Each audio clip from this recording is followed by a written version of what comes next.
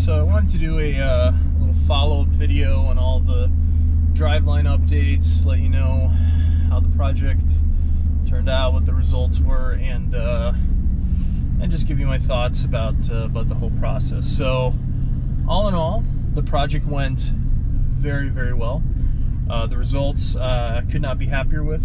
Um, it was a very fun, it was a very fun project, and uh, learned a lot. So let's talk about a little bit about the specifics of the uh, of the parts and, uh, how everything turned out.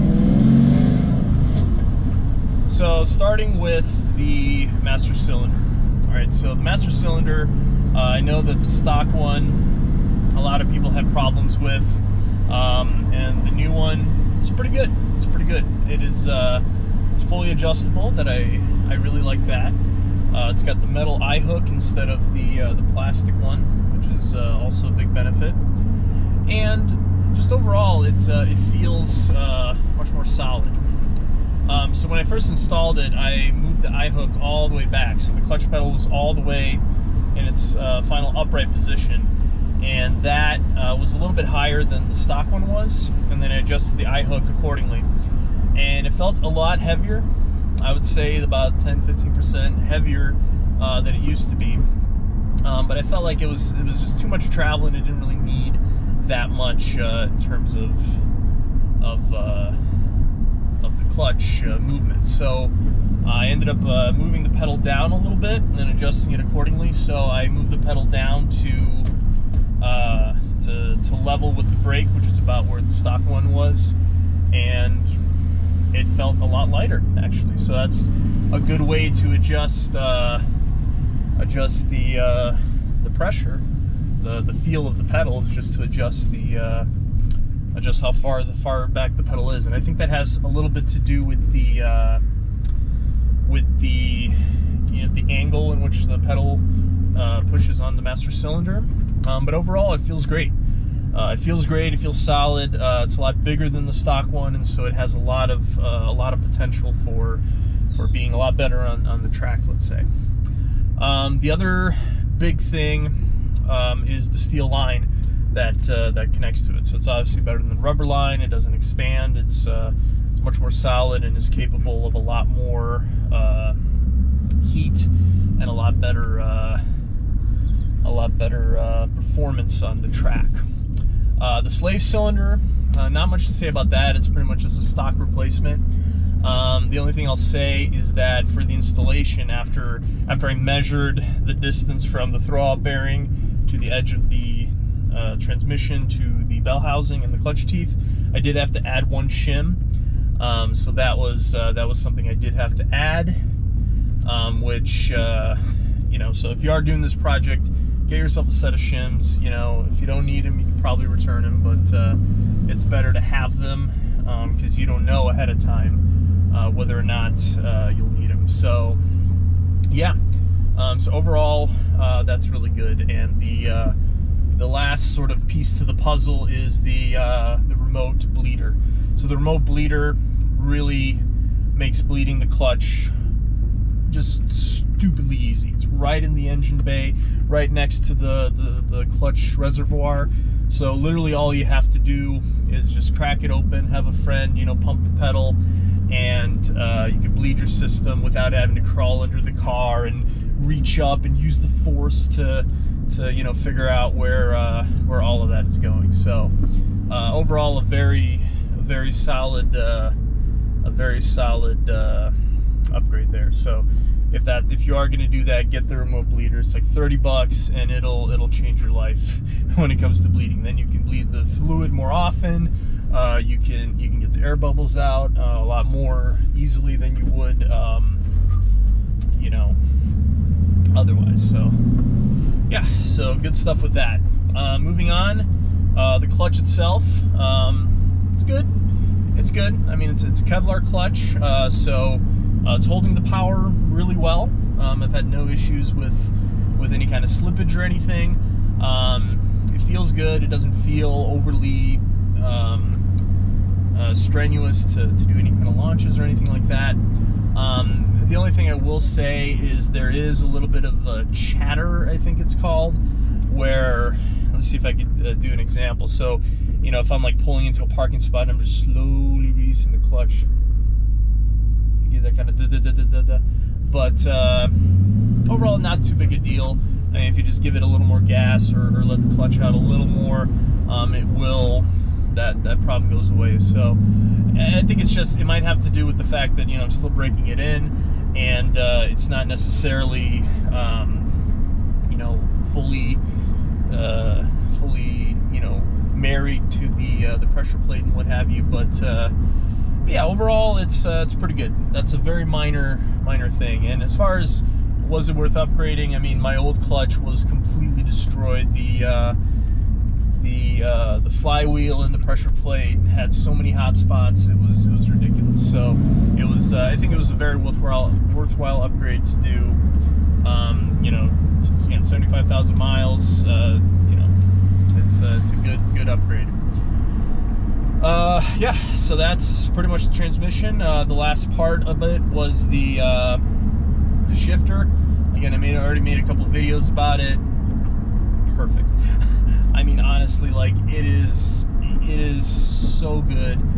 The way it's designed, I think the design is absolutely superior to all other ones that I've seen on the market because what it does is the forward and back motion is shorter by about 40%, but the side to side motion is remains stock. It remains one to one uh, stock, which is good because then you get the distinct channels of one, two, three, four, you know, five, six. That uh, you know, so you don't miss shift, which I think is is what you want, right? You want sort of longer travel side to side, so you you have those distinct gears, but also have a much shorter throw when you're shifting. So very good upgrade. Can't say good enough things about it if, if that's the one thing you change, uh, you know, I think it's it's well worth it.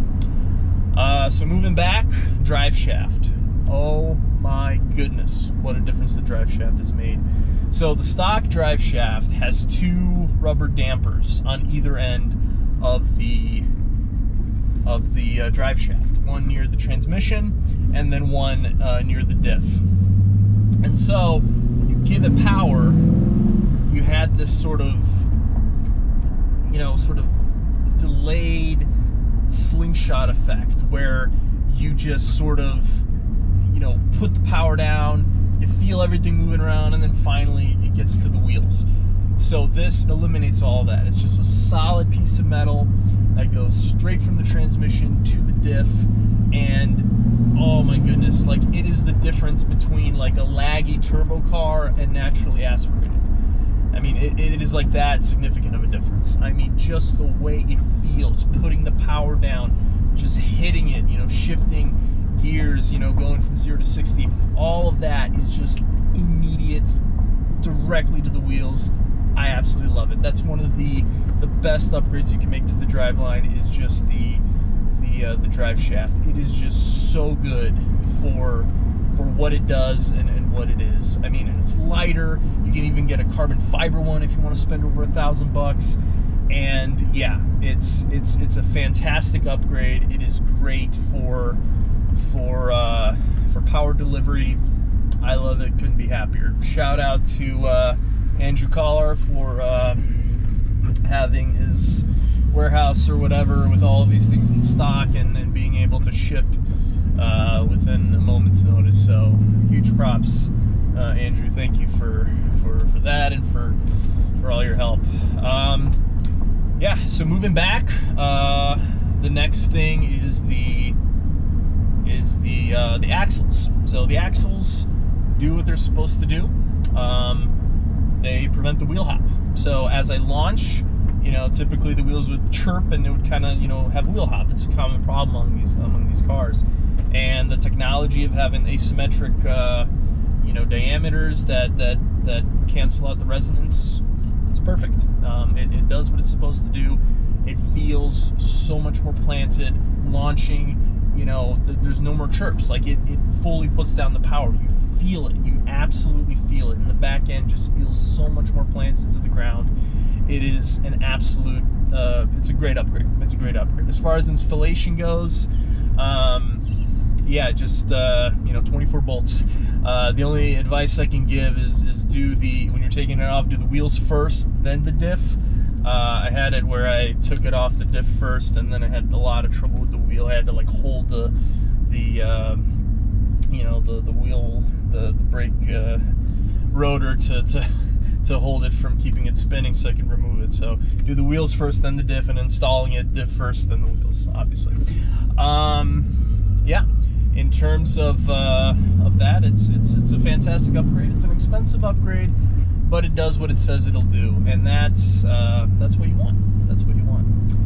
Um, so finally, I want to talk about the rear cradle bushings and and all the the bushing upgrades. So this one's a bit of a controversial one. So there's a lot of mixed feelings about it online. Um, all the videos that I've seen um, from you know Josh's Car Corner and uh, Hook uh, three or nine nine three seven I think it is.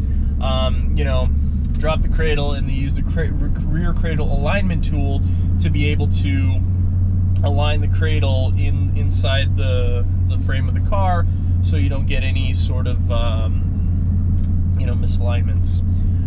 Um, and I did my due diligence, right? I tried to find the tool. Um, the only place I found it was like on, on uh, Maverick Man Carbon's website, and he had like a replica, and it took like six weeks to manufacture. So that's one of those things that's, uh, you know, I didn't want to wait six weeks, so I couldn't find anyone anyone willing to sell it used. Um, uh, I called local dealerships, Chevy dealerships, uh, GMC. Obviously, Pontiac doesn't exist anymore. So I called around. Nobody had the tool. I called some specialty alignment shops. Uh, none of them uh, obviously had the tool. And one of the guys said, "Look, I've done this kind of stuff for years. You don't need the tool." He said, "Don't believe everything you see online. You don't need the tool." Um, and I had I heard a lot of other people say, if you're doing poly bushings they don't have a lot of you know uh, a lot of uh, adjustments so putting it in is pretty much perfect so I went for it I mean worst case I just you know get the tool wait a few weeks and, and, and realign it um, yeah so after I got all the bushings in um, so the stock bushings the big ones that, that the cradle actually sits in those are kind of cone shaped right? So the top is a little narrow and it kind of spreads out kind of like a like those old Soviet you know rockets. It kind of spreads out this way. And the bolt has a lot of adjustment on, on how it can on how it can mount to the, the frame.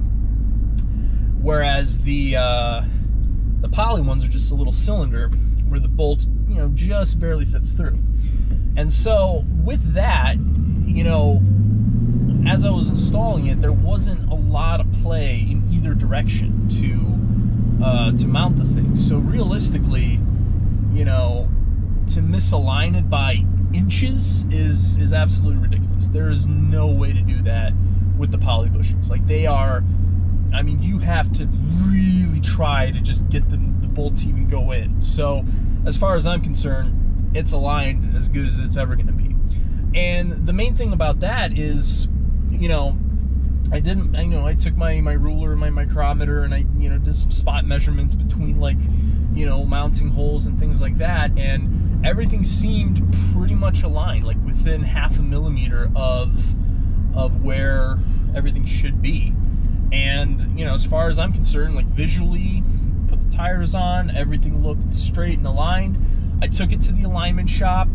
It was pretty much spot on when I brought it in, and then they adjusted the toe a little bit, and the thrust is absolutely straight. The wheels are perfectly aligned, tying like 0.1 degree toe in just for you know, just for uh, you know better better uh, you know centering action. But beyond that, it's absolutely perfect the alignment. And so I really don't see any sort of like you know any way that I could align it any better. I mean, again, you know, this is my opinion, this is my experience, you know, if if you have other opinions then you know, it's a free country, but I just feel like there is very little possibility and opportunity to make that rear cradle misaligned with poly bushings. Um, so I didn't need the tool. I managed to put it on and it's pretty much damn near perfect. And as far as I'm concerned, you don't need the tool. Now, I could be wrong. If you have this tool, by all means use it. And if you think I'm an absolute fool, send me the tool. I will be glad to, to check my work and to realign everything and bow to your superiority. But as far as I know, the tool is not necessary. For, for poly bushings with, with the setup that I did, it, it's just, it's not necessary. And again, I, I, I, get it. I get the tool exists for a reason. I get that General Motors official documentation says you need to use this tool when, when putting in the cradle. But like I said, I don't know how it could be any better. The rear end feels so much better than it used to be. It's so planted, it drives perfectly straight. There is no issues whatsoever with the way it's currently aligned. So, like I said, as far as I'm concerned, it's pretty much perfect. Um, but that's my opinion. I'm just a guy. I'm not a mechanic. I'm not a professional. You know, I'm just this is a hobby of mine. But like I said, I was able to do it without without any any issues. So yeah, so that's my experience uh, with that. So overall, you know, was this project worth doing? Absolutely. Absolutely. I mean, I I feel like I have changed this car's character for the better in almost every way. And it just, it feels great. It feels so much more planted. It handles better. It delivers the power so much. You know, a lot of people spend so much effort getting the engine as powerful as they possibly can. And then, you know, they just have, you know, stock suspension. Like that will, you'll just burn out the power and have nothing to show for it but a really loud an obnoxious engine. Whereas with the suspension upgrades and, and the bushings and the axles and the drive shaft, that's what you need to put the power down and to give it enough, you know, enough of a, of a base to, to, to push the power to the pavement. Because otherwise, you know, you're just gonna spin out.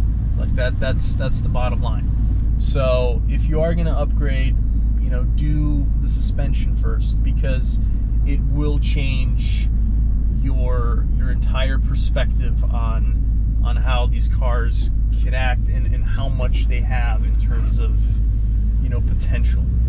And and I think that that's really cool. Um yeah so that's my opinion. And uh overall it's a fantastic upgrade. I really enjoyed it. I learned a lot about how the car functions, how everything works. A lot of blood, sweat, and tears, but realistically, it was a lot of fun. I had a great time, and uh, you can do it. it's uh, it's definitely a doable project. So, yeah, so that's uh, that's what it is. So, time for some. Uh,